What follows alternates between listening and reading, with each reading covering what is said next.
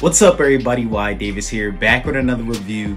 This time I'm showing you guys the Air Jordan 1 Low Diamond Shorts. Now, before I get into the video, I just want to say thank you guys for the support. Keep on liking, keep on subscribing, and it really motivates me to keep going I see you guys liking my content. Also, lets me know I'm in the right direction of showing you guys what you want to see. If you're new to the channel, I just want to say thank you and welcome. I drop a lot of dope content here, so consider subscribing.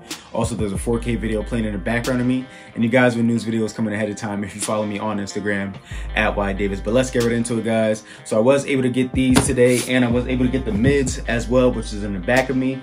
Um, now, I just want to start off by saying this, the suggested retail is not on the box here, but I did wind up paying, but I did wind up paying 135 for the mids and the lows was 110.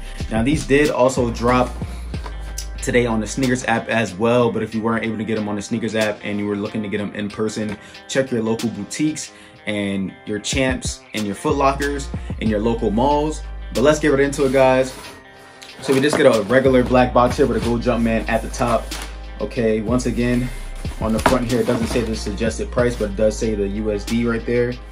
All right, I did go to size 9.5. I unfortunately wasn't able to get a size 9 in these, so these do kind of run a little bit big on me, but I will show you guys that in the on-foot portion, so make sure you guys stay for that. Now open up this box here, and we get the regular tissue paper with the gold Jumpmans on it, and then some regular tissue paper. Now we take out this very nice shoe here, and the reason why they're calling this the diamond shorts is because if you guys look at the material, you know, at first glance, it might look like just white material, but then as you move it around and it hits that different lighting, um, it has like a little bit of a glossy, like a diamond hit. Like if you wiggle around a diamond, you know how it hits and sparkles in certain ways. This shoe does the same thing, so that's pretty dope. Big difference between the mid and the Air Jordan 1 Low is that on the background of this leather right here, it's actually just white as you guys can see the difference on the back half of the shoe. Then on the one, it just has that color going all around the shoes. Um, we don't have any parts of the leather just being white. So that is the difference between the mid and the low is that we get the white background on the outside and on the inside of the shoe. Instead of it being that diamond cut like you see all around the Air Jordan 1 low.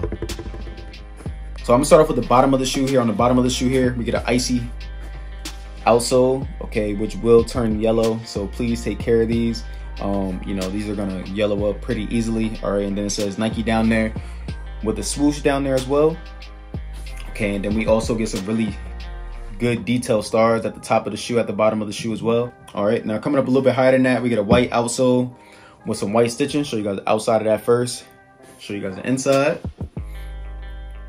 Okay, now coming back a little bit higher than that, we get like this suede that's really tight. Um, you know, it doesn't really have a pattern change when you rub your hand through it. This suede is really, really tight, and that's throughout the majority of the shoe. And then I'll show you guys that right there in the background, okay? Now coming around a little bit further up to the toe box here, we get this leather, and once again, it has like that diamond effect, or like a little bit of a rainbow effect on it if you look at the toe box there when you wiggle it around and it hits in certain different lights. These shoes will crease up, so make sure you guys put some shoe trees in this. I'll show you guys my right shoe. It came pre-creased like this. So make sure you guys put some shoe trees in these because these will get creased up very easily. Um, on the front of that, we get a black mud guard with the black stitching around it as well. Now coming back to the mid of the shoe here, we get that diamond cut swoosh. Okay, really good materials on this shoe other than it being other than it coming pre-creased i like the materials on this shoe. Okay um i do see a little bit of a stitching error on mine but you know i think that's just on this pair. Other than that i think these shoes are very clean in my opinion. Show you guys the inside. Same thing. That tight nubuck material on these. Let me get that swoosh all right, now coming up to the lace panels on this, it does come in that suede material again in black. We only do get one pair of laces in these and they come in black as well. Then we get a mesh tongue and at the top here it has that Jordan logo. In the background, we get that diamond shorts color, okay? On the inside of the shoe, we do get a cardboard insert, okay? And on the inside of the shoe, it is all black with the Jumpman being in white and the insole is black as well.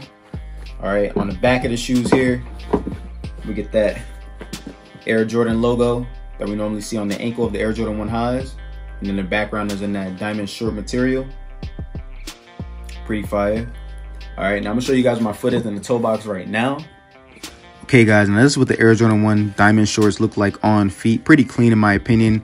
I normally do get a size nine and a half in all my shoes, but with Air Jordan 1 lows and Nike Dunk lows and Air Forces, I normally go true to size because they run a little bit big in my opinion. Now, I wasn't able to get a size nine and these are nine and a half once again, but as you guys can see on the right shoe here, how easily this shoe is gonna crease up. This shoe came pre-creased like this. I'll show you guys the left one right here. So you do, so you guys do want to get some shoe trees in these shoes. Now, um, with the nine and a half, it is a little big on my foot. I'll show you guys my foot is in the toe box. I'm moving it around. If you guys can't see it, my foot is right here. So I do have a lot of space right there. As you guys can see, a lot of space. Okay, that's my big toe right here. So I do have a lot of space in there. Um, once again, do go true to size on these. Now, I don't feel any tightness here and my foot doesn't slip out of the back okay so you know that's a good sign because i do like to wear my shoes unlaced so it still does fit but it does have a little bit more space up in the toe box area in my opinion make sure you guys like comment subscribe show your boy some love and stay tuned